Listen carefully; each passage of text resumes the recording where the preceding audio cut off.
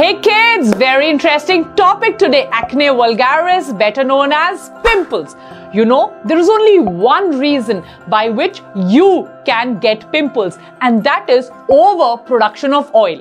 When your body produces extra oil, it traps the dead skin on which feed the bacteria causing pimples. There is no other reason.